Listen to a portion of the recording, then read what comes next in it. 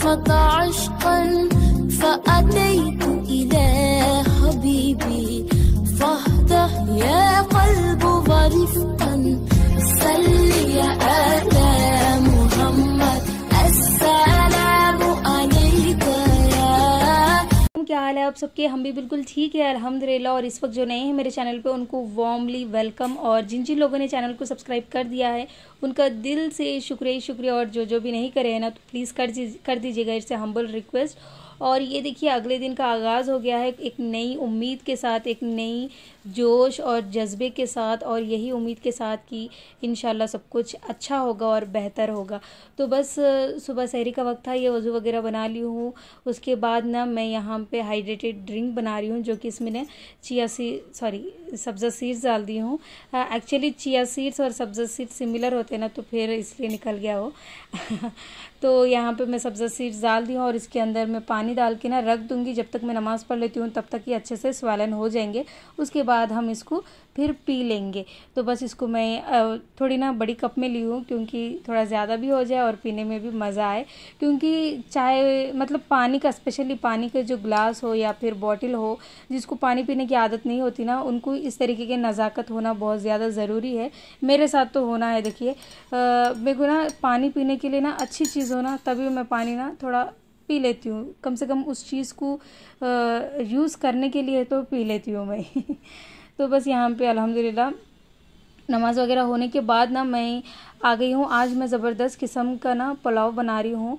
जो कि सारे ही वेजिटेबल्स ले ली हूँ। बहुत ही हेल्दी किस्म का ये पुलाव बनता है और आई गेस आप में से कई सारे लोग बनाते भी होंगे, लेकिन मैं कम ऑयल में बनाती हूँ इसको और क्योंकि हम वेट लॉस के प्लान में चल रहे हैं। इसीलिए और ना ये पुलाव बनाना इतना ईजी है, लेकिन उससे ही मुश्किल ना ये सब्ज़ियाँ काटने में है।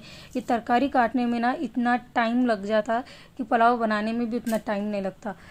तो बहरहाल एनीवेज तो मैं यहाँ पे ना एक टेबलस्पून ऑयल ले ली हूँ और उसमें मैं ये डाल दी हूँ। शाजीरा और हूँ, लौंग, इलायची और तेज़पत्ता डाल दी हूँ।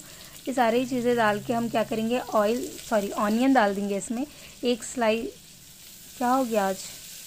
आज ज़रा ज़ुबान पिसल रही मेरी। कुछ ज़्यादा ही पिसल रही।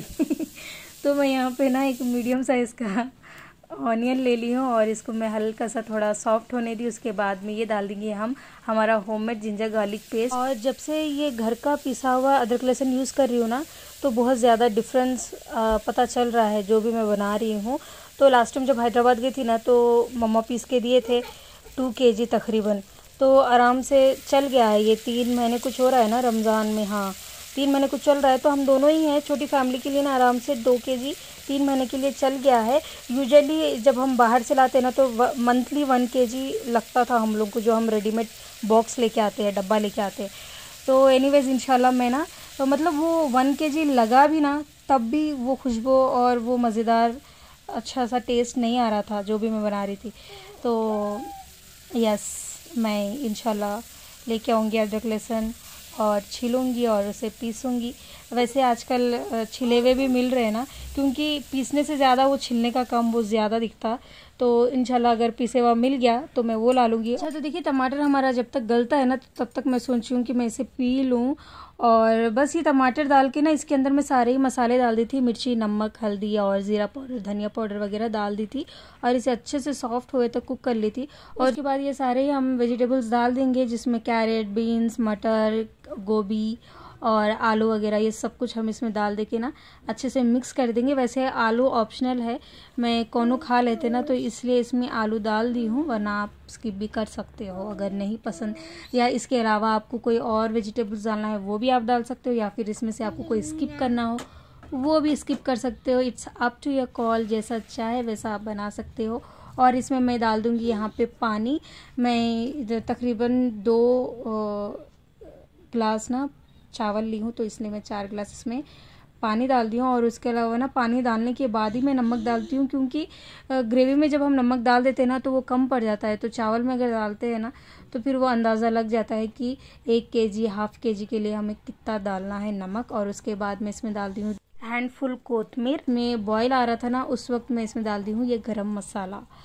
बस उसके बाद इसे हम एक मिक्स दे देंगे और उसके बाद इसमें हम डाल देंगे जो हम चावल धो के रखे थे ना, वो चावल इसमें हम डाल देंगे। और हाँ किस किस को पसंद है मुझे ये बताइएगा कि नॉर्मली हम भगोने में जब बनाते हैं ना पुलाव तो उतना मज़ा नहीं आता। लेकिन कुकर में या फिर राइस कुकर में जब आप बनाते हो नॉट ओनली पुलाव इवन अगर आप तहारी भी बनाते हैं ना आ हा हा हमारे मम्मा जो तहारी बनाते हैं ना कुकर में राइस कुकर में इतनी मज़े की बनती मैं बोल रही ना कि आ, मतलब पेट भर जाता लेकिन मन बिल्कुल भी नहीं भरता। और यहाँ पे हमारा पुलाव बन के रेडी हो गया उसके बाद में थोड़ा ख़ुद को इम्प्रेस करने के लिए और ख़ुद को तसल्ली देने के लिए कि खा ले भाई अच्छा है, मज़े का है। तो बस यही तसल्ली के लिए मैं क्या करी, एक बॉल में राइस डाल दिया और उसको ये शेप दे दी हूँ। दो एक अंडा ले ली हूँ और उस पर थोड़ा सा काली मिर्च डालती हूँ, क्योंकि खाली अंडा ना उतना खाए नहीं जाता। और साथ में एक खीरा ले ली हूँ, बस मेरा ये ब्रेकफास्ट रेडी हो गया है एकदम हेल्दी किस्म का और मैं ना लेट हो रहा था, इसलिए मैं शूट नहीं करी। बस खाने के बाद आप लोगों को दिखा दी। सलाम करो। सलाम करो। सबको सलाम करो। अच्छा बेबी ना मेरा। हाय हाय बोल दी ना वेरी गुड करें हाय बोल। सलाम भी कर दो आप अच्छा मैं कर रही आपको। अस्सलाम वालेकुम। अस्सलाम वालेकुम। वालेकुम सलाम। खैरियत। खैरियत। ज़ोर से बोला अल्हम्दुलिल्लाह। आप अंदर अंदर बात कर रहे बेटे आप ज़ोर से बात करो। खैरियत। बोलो सीधा बोलो। खैरियत। कौन हो? सबको ए बी सी डी पढ़ के सुनाओ अच्छा चलो A B B C D D come on come on A B C D Wash.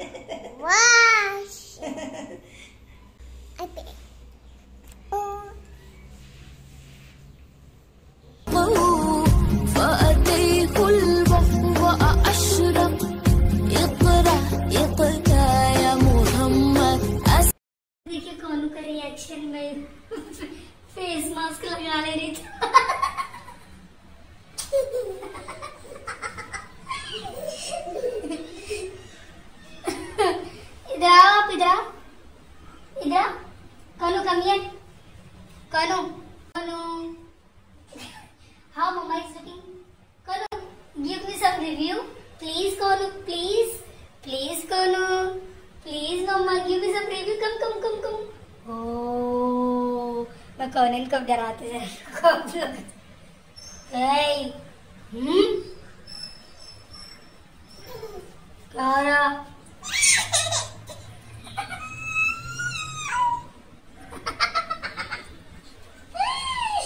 अगर इसको थोड़ा थोड़ा भी डर करे नहीं जा तो hey, मैं खा जाऊँगी तुम्हें समझ में आई बात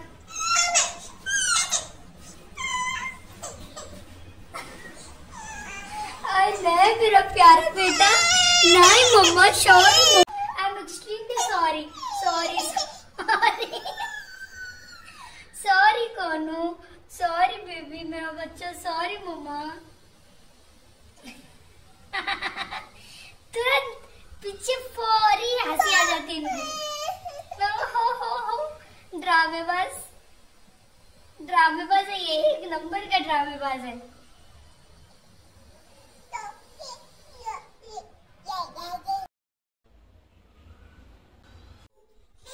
ये लड़की मेरे देख देख के हंस रही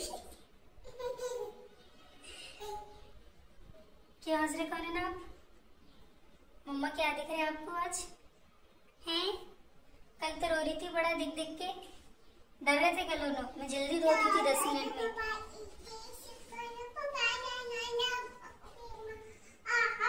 सारा दिन ये चलते रहता जानी जानी यस पापा।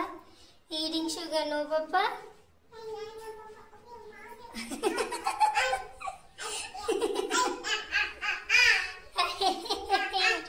अच्छा तो गैज़ ये इफ़ार का वक्त करीब आ रहा था तो फिर मैं असर वगैरह पढ़ के ना किचन में आ गई हूँ और यहाँ पे मैं बना रही हूँ फ्रूट सैलेड जो कि बहुत ही फुलफिलिंग होता है। और हाँ आप लोगों को ये भी अपडेट देना था, कल जो मैं सैलेड बनाई थी ना, वो बस एक बोल खाते ही मेरा पेट इतना भर गया था कि बाद में जो मैं भिंडी वगैरह बनाई थी उसको खाने का बिल्कुल भी मतलब जगह ही नहीं थी मेरे स्टमक में।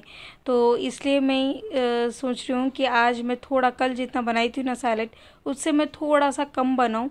और बस उस इसलिए ना मैं एप्पल भी हाफ़ ले ली हूँ और ऑरेंज भी हाफ़ ले ली हूँ और अनार का तो आप देख सकते हो छोटा सा पीस ली हूँ उसके अलावा वो अनार छिलती हूँ ना तो मेरे नाखून पूरे काले पड़ जाते तो बस उसके अलावा ना यहाँ पे मैं ये दही ले ली हूँ, तकरीबन चार टेबल स्पून और इसमें मैं ये डाल दी एक टेबल स्पून हनी, जाके थोड़ा मिठास है इसके अंदर और ये चाट मसाला डाली हूँ, इसमें नमक, काली मिर्च इस तरीके से कुछ भी मैं यूज़ नहीं कर रही हूँ। बस चाट मसाला डालेंगे, हनी डालेंगे और दही डाल के इसको अच्छे से हम मिक्स कर लेंगे भेट लेंगे और उसके बाद ये सारे ही फ्रूट्स हम इसमें डाल देंगे और इसे अच्छे से मिक्स कर देंगे। बस दैट्स इट और उसके अलावा मैं थोड़े अनार जो बचा ली थी ना ऊपर से थोड़ा डाल दे रही हूँ ताकि अच्छा कलरफुल दिखे। और ये नमकीन बादाम है जो कि ना पापा बाहर से लेकर आए थे वो बादाम ना ख़त्म होने का नाम ही नहीं ले रहा। आ, वैसे मैं भी ना उसको ऐसे ही कुछ सैलड बना लिए या कभी कुछ बना लिए तो ना खा लेती हूँ। उसमें, उसको मैं करीस में या फिर जूसेस वगैरह में यूज़ नहीं करती क्योंकि वो नमकीन है। अच्छा तो बस यहाँ पे देखिए मेरी इफ्तारी जो है ना वो रेडी हो गई है और बहुत ही यमी टेस्टी और दिखने में भी बहुत इम्प्रेसिव है और खाने में भी बहुत ज़्यादा टेस्टी है हेल्दी है न्यूट्रिशियस है और बस हाइड्रेटिंग है, सब कुछ है इसमें। और उसके अलावा मैं ये भी सोच रही थी कि काश रमज़ान में अगर हम इस तरीके का खाना खाते ना तो इफ़ार से पहले बहुत ज़्यादा टाइम बच जाता जिसमें हम खूब सारे दुआएँ वगैरह कर सकते हैं। लेकिन ना, जब एक जने हो ना तो वो अपने ऊपर डिपेंड करता है कि हमें क्या खाना और क्या बनाना है। जब साथ में आपके पार्टनर है या फिर फैमिली के और भी मेंबर्स हैं ना तो फिर आपकी चॉइस वहाँ पे इतनी बाज नहीं आती। क्योंकि आपको जब आ, मतलब सबकी चॉइस के हिसाब से भी चलना पड़ता है ना यहाँ पे आप लोग कौनों को देखिए उसका कितना सेटिस्फैक्शन वाला खाना खा रही हो अनार को हाथ से उठा के चम्मच पे लेके खा रही हो ना। तो ना हर चीज़ ना वो भी कॉपी करने जाती है तो बहुत ही अच्छा दिखता है और उसके वजह से ना मैं, मेरे अंदर काफ़ी ज़्यादा सुधार आ रहा है, क्योंकि मैं कुछ गलत कर देती हूँ ना तो फिर बच्ची कहीं सीख ना ले। तो ये होता है और ये जेन्यून है कि मेरे अंदर बहुत सारी चीज़ें ऐसे हैं जो मैं करती थी, उसको मेरे को स्टॉप करना पड़ रहा है और अच्छी बात है। अच्छा तो मैं यहाँ पे ना काम पे लगा दी इनको। मैं जब भी अनार छिलती ना तो मेरे नाखूनों में वो काला काला बैठ जाता, वो क्या बैठता मालूम नहीं, लेकिन ना बैठ जाता और दो, तीन, चार दिन तक रह जाता इवन गर्म पानी में हाथ डाल के रखे हुए तो भी नहीं जाता वो। तो इनके नाखून पे नहीं बैठता नहीं आपके नाखून पे? बता बता बता। तो बस दे दी मैं इनको। और इसको मैं वॉश करके क्या करती हूँ? स्टोर करके बॉक्स में रख लेती हूँ तो ये काम में आ जाता आराम से। आज मैं क्या करी मालूम आपको? एक अनार में से सिर्फ़ ये नाइफ से कट करी और इतना छोटा पीस निकला उसको सिर्फ़ स्किन लगी नाखून से बिल्कुल भी नहीं छिली। नहीं छिल के ना सलाद में यूज़ कर ली। अच्छा। यस अब ये छिलते हुए ना अब इसका क्या करने वाला है कि पूछ रहे मेरे को नहीं एक और दो छिलने लगाए तो वो समझ सकते कि कुछ खाना है कुछ बनाना है। हाँ।